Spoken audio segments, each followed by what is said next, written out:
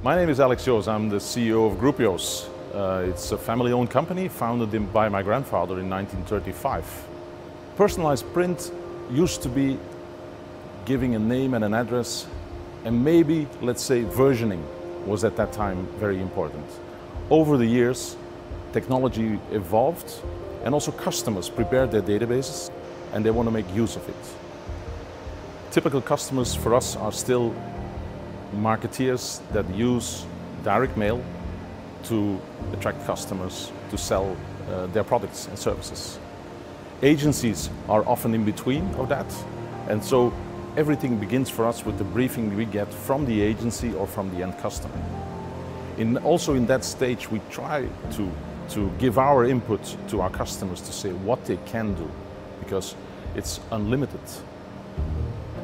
We work together with a large retailer to develop a coupon book where, let's say, we, we do not offer the same coupon or the same value or the same points to every customer, but we can personalize it using the data that is generated daily in their shops by the end customer. Personalization is only one way to work with this technology. Versioning, small runs, print on demand are typically other, let's say, applications which are traditional or which can be used on this type of technology. And for that, we, we have given our customers a portal fully personalized on their behalf um, with all their content in and with a small, with, a, with, a, with only a button away, they can order it. And we will print it on demand. If you want to go to personalized print, you of course need the necessary software uh, for templating, for variable data and variable images, where we use, let's say, special technology uh, as Quadient uh, for doing so. But on the other hand, also what is very important is color management. Of course, we work with inkjet technology, where ink is a cost, is an important cost. And managing not only quality, but also the use of the ink is important. Prisma helps us with that, doing that color management. The ProStream is part of, let's say, a full set of possibilities to come to a white paper concept. Uh, that is not only letterheads, and, and, but also booklets, uh, flyers, point of sales uh, equipment, books.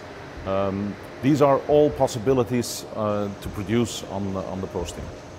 Where before there could be some discussion and that other technologies were better offset or others, I think we come to a point that quality really is not an issue anymore. The fact that we can use different types of substrates from 60 to 300 grams gives also the advantage to move productions, smaller or larger, on different types of substrates, let's say very confident to this, to this technology.